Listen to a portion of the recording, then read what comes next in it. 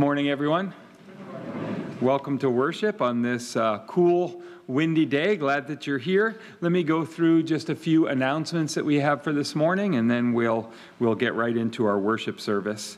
Uh, first of all, welcome those of you that might be visiting with us today. Glad you're here. Those of you that are joining us on the live stream, welcome to you.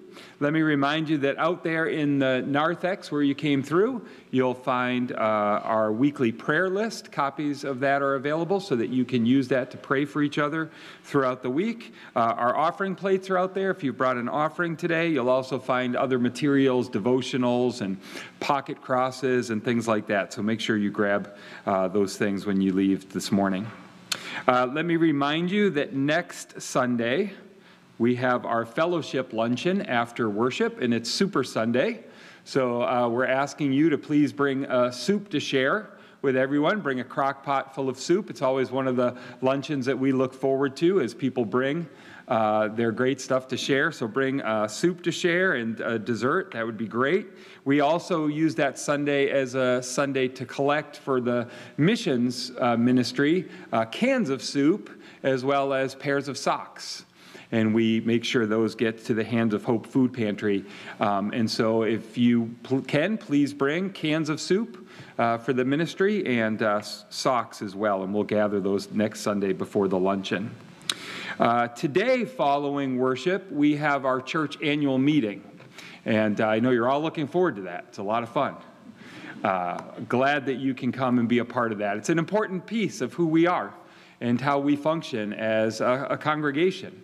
We make important decisions. We vote on our budget. We elect new lay leaders from the congregation. We uh, consider things that the council brings before us. So, uh, if you can, please plan on staying today. Following worship, we'll take a few minutes to grab some refreshments and have a little bit of fellowship, but then we'll come right in. We have a nice full schedule for the annual meeting. So, uh, if you're able, please stick around today for the annual meeting.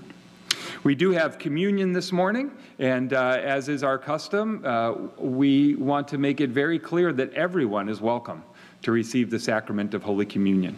Not just those who are members of our church, but anyone who proclaims Jesus Christ as their Lord and Savior is welcome to receive the sacrament. We will be passing uh, the sacrament through the aisles today instead of coming forward. Uh, and so when we get to that point, if you would just hang on to the bread until everyone has received it, and then we will eat of it together, and the same with the cup. And I'll give you a little reminder when we get to that point. And finally, you see we have some beautiful flowers here in the sanctuary this morning, and those flowers are presented by Pat Forrest in loving memory of his son Mike, who uh, passed away a few weeks ago. We've been praying for Pat and for his family during this challenging time. And uh, Pat, thank you for the beautiful flowers this morning.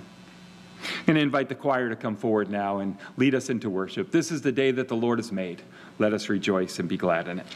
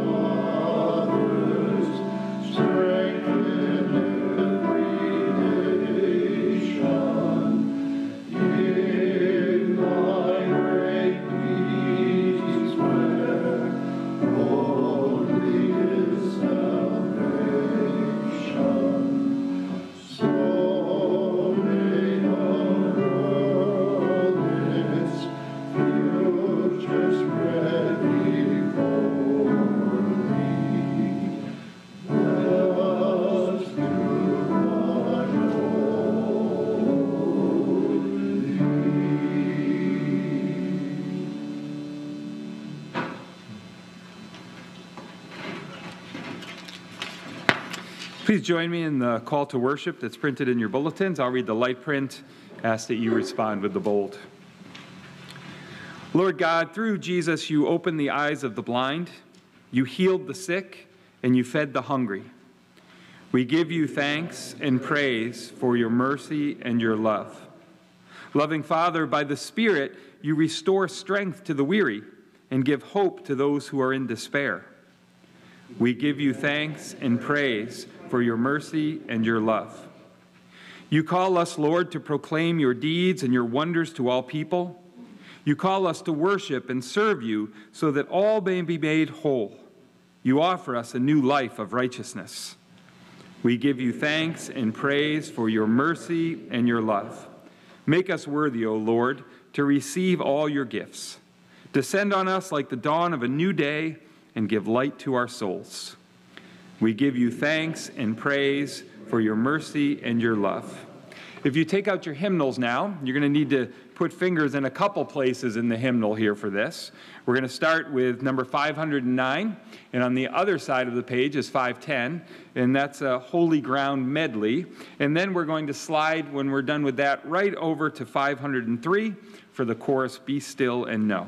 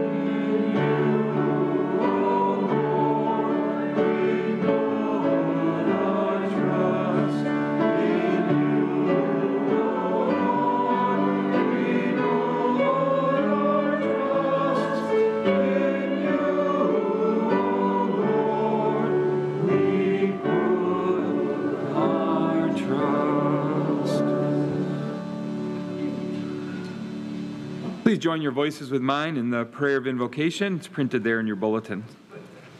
Let us pray together. God of all power, you are the one who called this world into being, and we acknowledge that you have no equal. Yet you want to share your strength with those who are powerless. You ache to heal the brokenhearted and to bind up the wounds of the lost and rejected of this world. Such radical love leaves us speechless, but you gave it human form in the person of Jesus, in whom your promises of healing and empowerment were fulfilled. We give you thanks and praise for blessing our lives in this way, and we pray that in Jesus and through the power of the Holy Spirit, we too can become radical lovers of the powerless and passionate bearers of hope to those whose lives are filled with despair. May this time of worship be a true expression of our desire to praise and glorify you for the many ways in which you bless us. And may our lives reveal our gratitude in all we think and do and say. This we pray in Jesus' name. Amen. If you take out the scripture insert sheet, you'll find there as Tom comes forward to read the word of God to us this morning.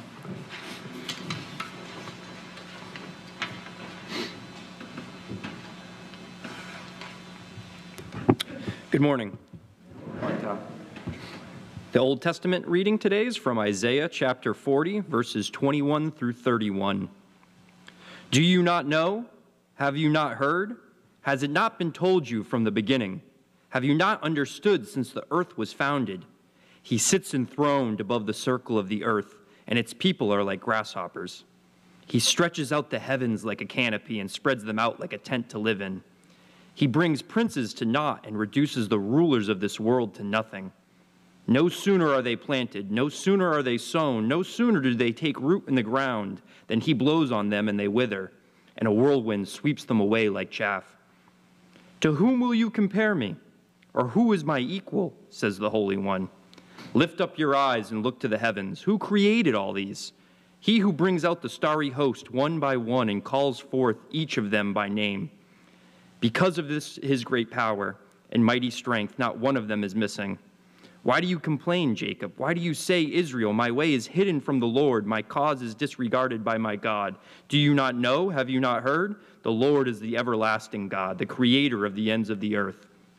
He will not grow tired or weary, and his understanding no one can fathom. He gives strength to the weary and increases the power of the weak. Even youths grow tired and weary, and young men stumble and fall, but those who hope in the Lord will renew their strength. They will soar on wings like eagles. They will run and not grow weary. They will walk and not be faint. The gospel reading today is from Mark chapter 1, verses 32 through 39. That evening after sunset, the people brought to Jesus all the sick and demon possessed.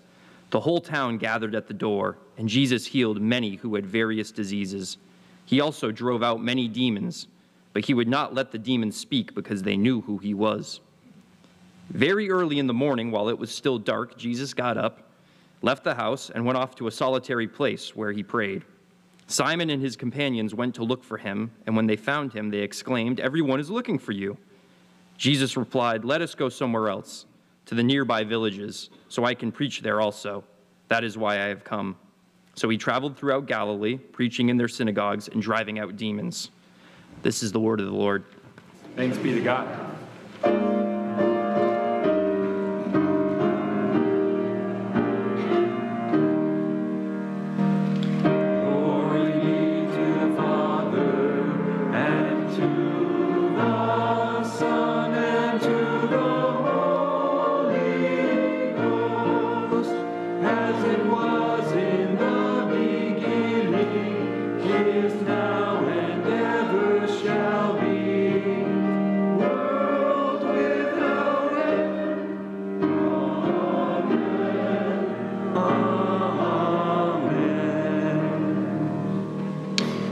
Seated, everyone, and at this time the children can head downstairs for Sunday school.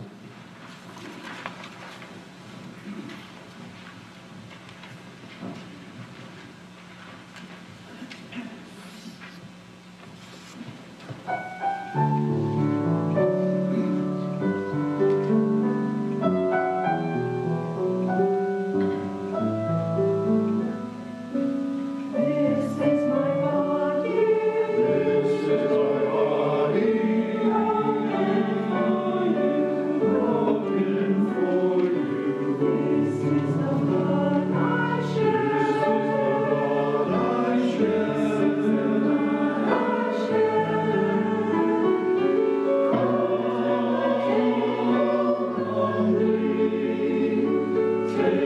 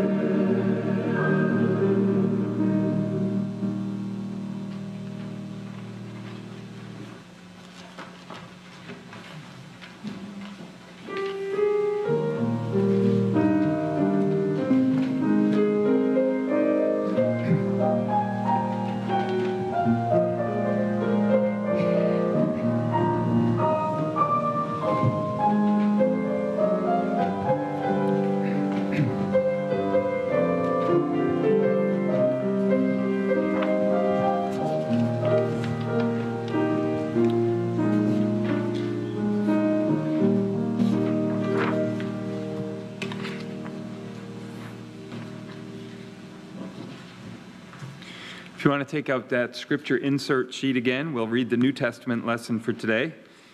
Comes from us, uh, comes to us from the book of Acts, chapter 20, uh, verses 20 through 24. And uh, just like the entire book of Acts, we're in the very beginning of the early church.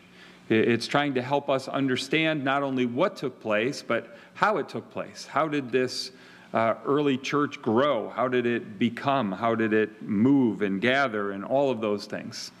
And seemingly, there's not much here in this passage, but it also has a lot to say. From Acts 20, this is Paul. You know that I have not hesitated to preach anything that would be helpful to you, but have taught you publicly and from house to house. I have declared to both Jews and Greeks that they must turn to God in repentance and have faith in our Lord Jesus. And now, compelled by the Spirit, I am going to Jerusalem, not knowing what will happen to me there. I only know that in every city the Holy Spirit warns me that prison and hardships are facing me. However, I consider my life worth nothing to me. My only aim is to finish the race and complete the task the Lord Jesus has given me the task of testifying to the good news of God's grace. This is the word of the Lord. Thanks be to God. When we look at the book of Acts and we uh, try to get a grasp on how this movement became the established church that we know of it today, how did it go from these 12 guys following Jesus around and him being crucified, and then word spreading that he's raised from the dead. How did it go from that to hundreds and thousands of people, not just there in Jerusalem, but all over the Roman Empire, believing? And along the way, we get these little snippets that tell us how the church grew. So in Acts chapter 2, we read these simple words. It says, This is how they did it. They devoted themselves to the apostles' teaching, to fellowship, to the breaking of bread, and to prayer. Everyone was filled with awe at the many wonders and signs performed by the apostles. All the believers got together. They had everything in common.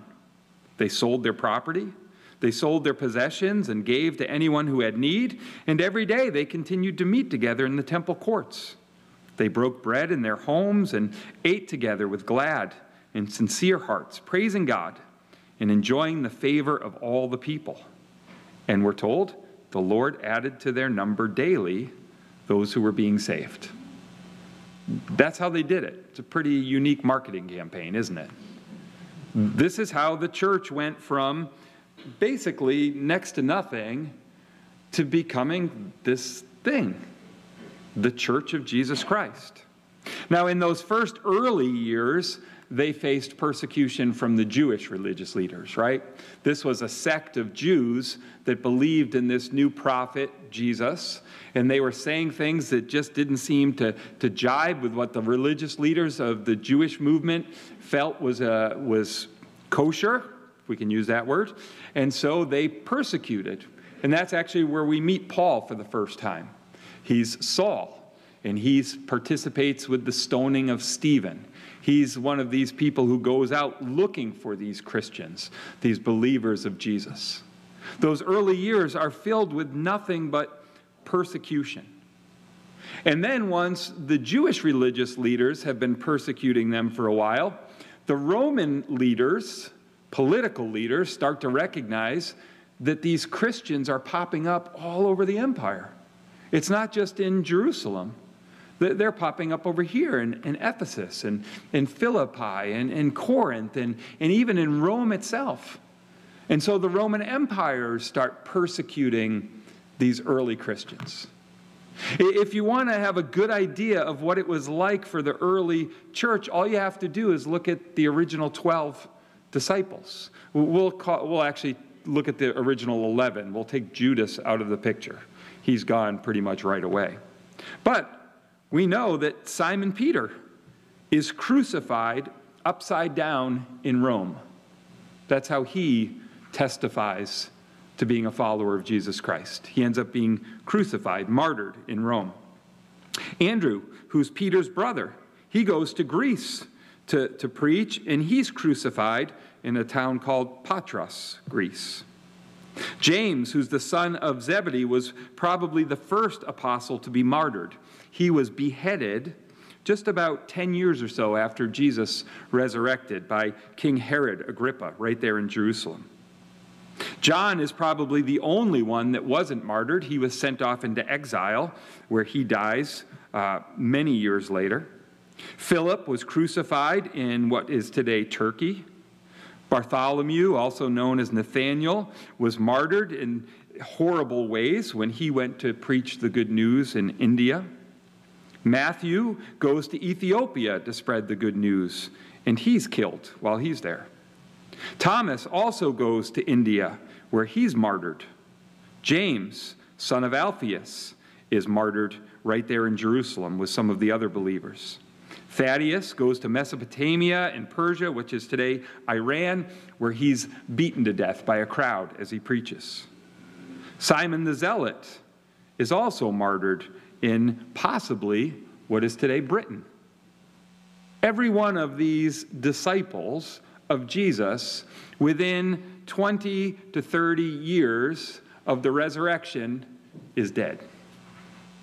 Not in a very pleasant way either. This is kind of the, the badge of the early Christian church. The early Christian church is marked by martyrdom, people who are persecuted and give their lives in faithful devotion to Jesus. And then something happens. Something happens once we get to the year 312. So we're going to have a little history lesson now. You ready for this? Here we go. By the time we get to the year 300 or so, the Roman Empire, as we think of it, is broken into two pieces. We have an Eastern Roman Empire, and we have a Western Roman Empire, and they both have kind of emperors that rule them. And every once in a while, they'll fight each other to try to bring things together. And for those 300 years of that portion of the church, Christians have been killed in every horrible way possible that you can imagine. And you've heard the stories. They're fed to the lions, they fight the gladiators. They're used as human torches for some of the emperor's terrible things that happen in the empire. In every way possible, Christians are persecuted and killed for their faith. And the crazy thing is, as that happens, as they don't renounce their faith, more people come to faith. And the Romans don't know what to do about this. The more they persecute, the more the Christians are forced underground to worship in the catacombs and, and things like that, the more people recognize that there's something real about this. And the more people come to faith. Until we get to the year 312. There's a guy, he's, he's a pretty humble guy. He calls himself Constantine the Great. As soon as you put the word the Great after your name, it tells a lot about a person. Constantine is in charge of the eastern side of the Roman Empire. But that's not good enough for him. He wants it all. He wants it all. So he takes his forces, his army, and he starts marching towards Rome where he is going to battle uh, Maxentius, who's the emperor of the western side of things. And they come to this one place, it's known as the Milvian Bridge and they're about to have this grand battle. And it's really not clear who is going to win, who's more powerful, or anything like that. And Constantine, uh, a day or two before this great battle, has a dream at night. And in this dream, he looks up into the sky and he sees the cross of Christ, this persecuted group of people. He's persecuted them. Maxentius has persecuted them. But here's this cross of Christ just hanging there, and he hears this phrase, and then he sees it actually written on the cross. And in Latin, in hoc signo vinces, meaning, in this sign you will conquer. Or if you want to brief it down, conquer by this. And he watches as that cross turns upside down slowly and turns into a sword. And when he awakes, he comes to the conclusion that this is a message from this God of the Christians. That if he will become a believer and follower, God will give him the strength of the sword to defeat all his enemies. And so the next day, he makes an order that everyone in his army is to put the sign of Jesus on their, on their banners and on their tunics and everything, and they go out and they fight the battle under the banner of Christ. And they win. And one of the first things he does is he pronounces an, an, edict. It's called the Edict of Milan in 313 AD, which basically says Christians can no longer be persecuted. Christians are now okay. Christians are now accepted. No more feeding them to the lions, no more fighting them with the gladiators, no more lighting them on fire, or all the other horrible things that we did to them. Christians are now okay. And even actually more than that, um, I'm siding with the Christians. Now, interesting enough, uh, history tells us that Constantine uh, wasn't a Christian. He did get baptized as he was dying on his deathbed many years later. Um, he wanted to make sure he was covered, um, but his life was not led as a Christian. But he proclaimed that his empire was following the Christian God. And so, literally, almost overnight, Christianity becomes the God of the oppressed, uh, I mean, the religion of the oppressed, the religion of the persecuted, the religion of the martyred, to the official religion of the Holy Roman Empire, with Constantine at its head. And Constantine starts bringing together all these Christian leaders from all over the Roman Empire to make decisions on what Christianity is really about. And so they have these great gatherings where they make decisions on who Jesus really is, who can be a priest and who can't. Sorry, women, you're not allowed now who can be a leader, who can't be a leader, what the hierarchy will be, what the structure will be. All those sort of things happen as we think of them today under Constantine.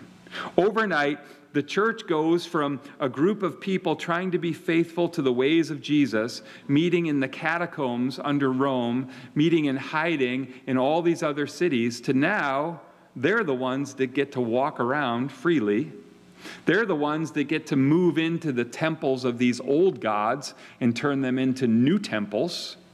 They're the ones that get to take over all the religious celebrations and turn them into Christian celebrations and Christian holidays and Christian holy days. They are the ones that now have all the power.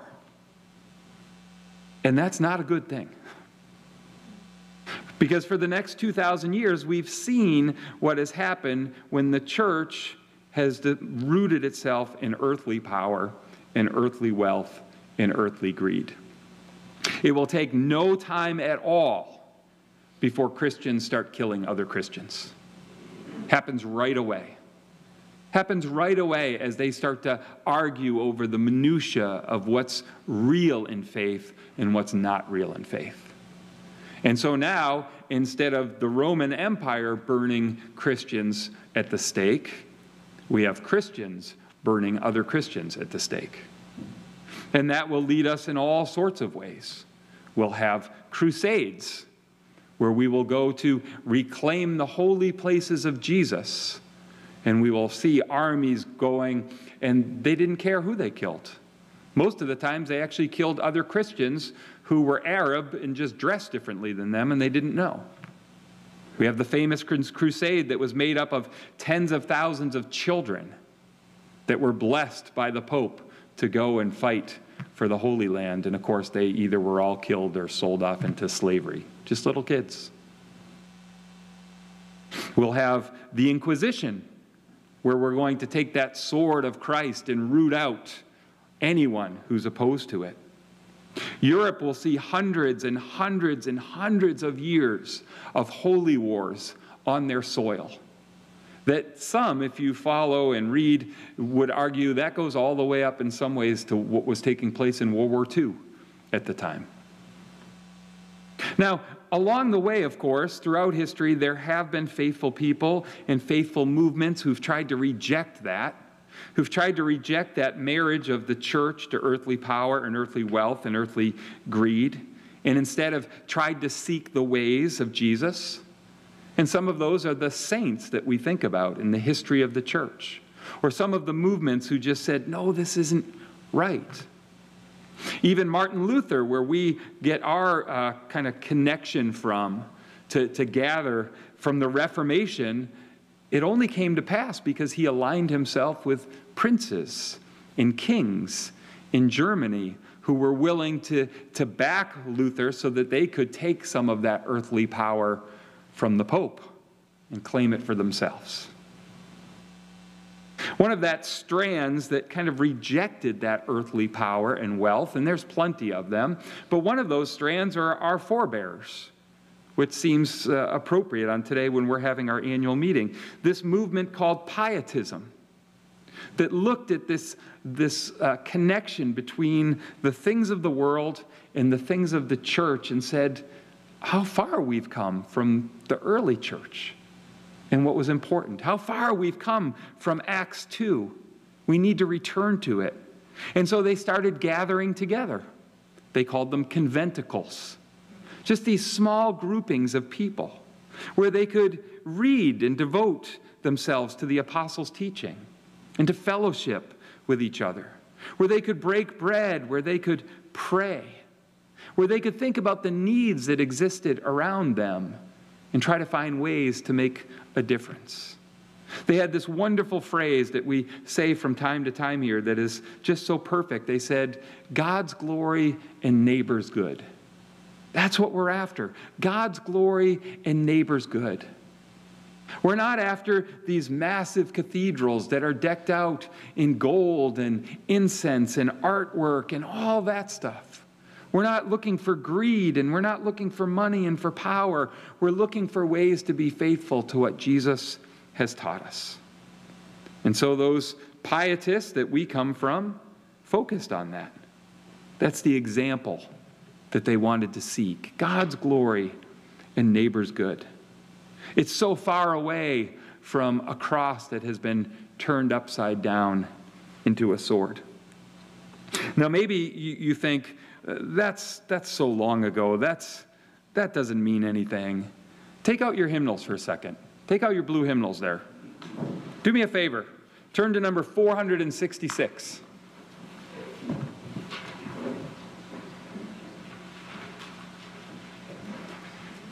Bet this is a hymn that you're all familiar with. Let's just look at these words for a second. 466. Onward, Christian soldiers, marching as to war, with the cross of Jesus going on before. Christ, the royal master, leads against the foe, forward into battle. See his banner go. Onward, Christian soldiers, marching as to war, with the cross of Jesus going on before. How many of you sang that in church when you were young? I know I did. On to battle. Jesus before us with the cross turned into a sword so that we can defeat our foes. It's still a part of our mindset.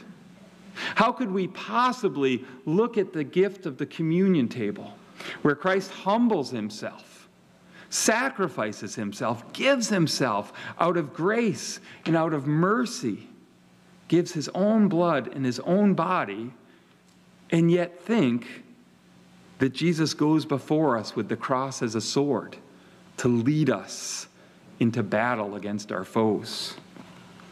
Turn to number 616. Because to me, this one sounds a lot more like the early church. It sounds a lot more like the ways of Jesus that we read about. Make me a servant, humble and meek. Lord, let me lift up those who are weak. And may the prayer of my heart always be Make me a servant. Make me a servant. Make me a servant today. One of the challenges that the Church of Jesus Christ faces today in our culture, in our world, is that oftentimes it seems like the cross of Christ is more a sword than it is the cross.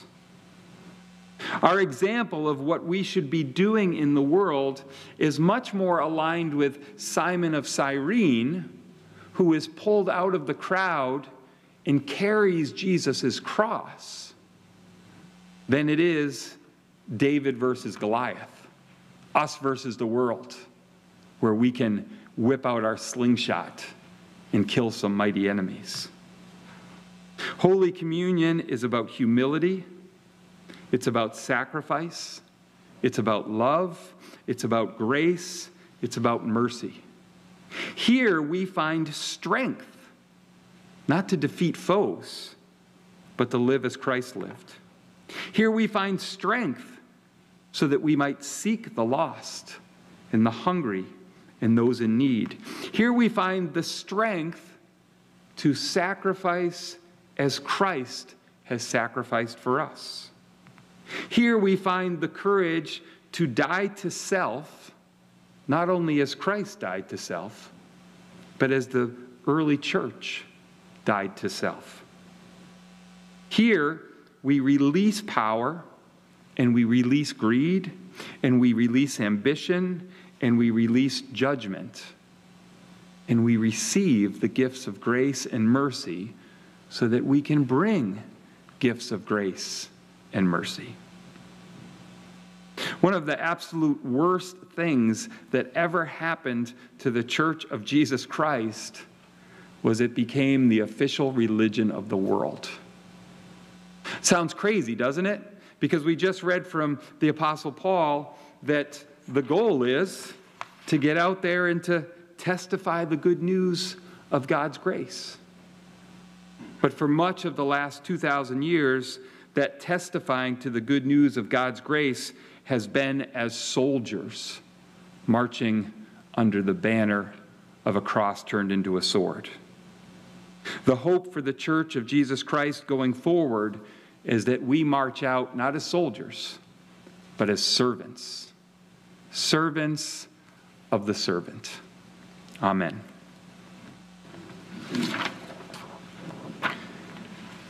As we do prepare now to come to the table, why don't you take those hymnals out? We'll sing a song of, of preparation. We're going to sing actually the very first song that's in our hymnal, number one Rise, Shine, You People.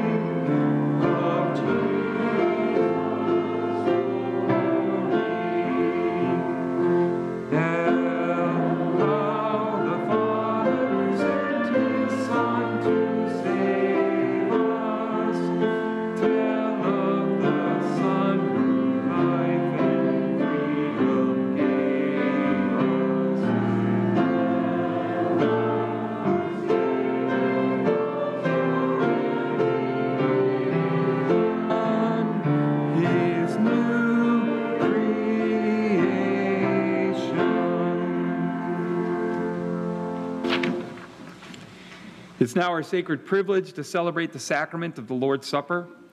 All who humbly put their trust in Christ and desire his help that they may lead a holy life. All who are truly sorry for their sins and would be delivered from them. All who would walk in love with their neighbors and intend to live a new life following the commandments of God and walking from now on in his holy ways are invited to draw near with faith and to receive this holy sacrament. Jesus Christ, our Lord and Savior, invites us to this Holy Communion, through which He will give Himself to us and lead us into a deeper fellowship with one another.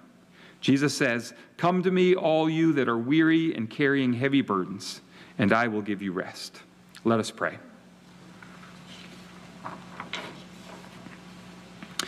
Divine and merciful Creator, as we gather before you to partake in this sacred communion, we come with hearts filled with humility, recognizing our unworthiness to stand in your presence, and yet in your boundless love. You invite us to your table not because of our merit, but because of your grace. In this moment, we reflect on the ultimate act of self sacrifice. Your Son, Jesus Christ, who humbly laid down his life out of love for humanity. May his example inspire us to follow in his footsteps, to surrender our desires and our ambitions, and to embrace the path of selflessness and service. As we partake of the bread, his body broken for us, in the cup, his blood shed for the forgiveness of sins, may we be reminded again of the immense love that you have lavished upon us. Let this communion be a tangible expression of our commitment to love one another as you have loved us. Grant us, Lord, the strength to set aside our pride and our ego, to humble ourselves before you and our fellow human beings. May this act of communion be a catalyst for reconcilia- reconciliation among us, breaking down barriers and fostering a spirit of compassion and empathy. And as we leave this sacred space later today, may we carry with us the essence of this communion a heart overflowing with humility a willingness to sacrifice for the sake of others, and a deep seated love that transcends all boundaries. We pray this in the holy name of Jesus, who has given us these words to pray Our Father, who art in heaven, hallowed be thy name. Thy kingdom come, thy will be done, on earth as it is in heaven. Give us this day our daily bread, and forgive us our sins, as we forgive those who sin against us. And lead us not into temptation but deliver us from evil. For thine is the kingdom, and the power, and the glory forever. Amen. Hear now the words of our Lord Jesus Christ as they're delivered by the Apostle Paul. For I received from the Lord what I also handed on to you that the Lord Jesus, on the night when he was betrayed, took a loaf of bread. And when he had given thanks, he broke it and said, This is my body that is for you. Do this in remembrance of me. In the same way, he took the cup also after supper, saying, This cup is the new covenant in my blood. Do this as often as you drink it in remembrance of me. For as often as you eat this bread and drink this cup, you proclaim the Lord's death until he comes. These are the gifts of God for the people of God. Thanks be to God. Just a reminder, we will pass uh, first the bread through the pews. And please wait until everyone has received, and then we will eat the bread together, and then we will do the same with the cup. Will the servers please come forward?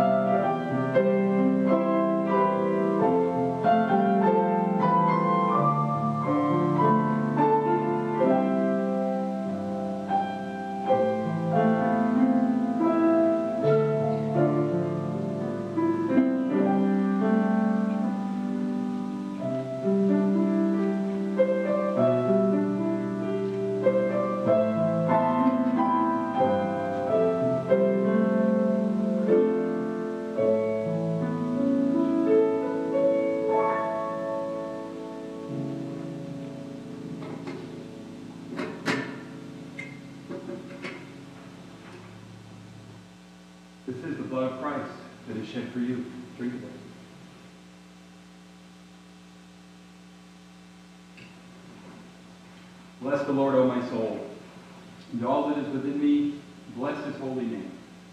Bless the Lord, O my soul, and never forget all God's best benefits. Amen. We'll sing our closing hymn, number 680, and if you're able, I invite you to stand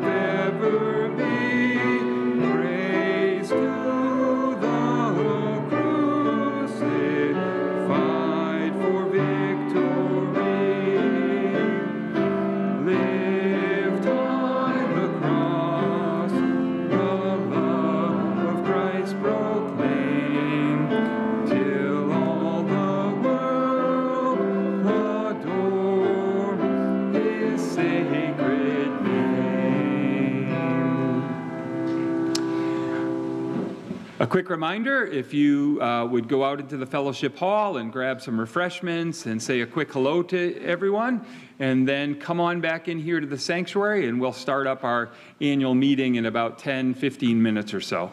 Um, and thank you for those that can stay and be a part of that. Receive now the benediction as you go. May the Lord bless you and keep you. May the Lord make his face to shine upon you and be gracious to you. May the Lord lift up his countenance upon you and give you his peace this day and forevermore. Amen.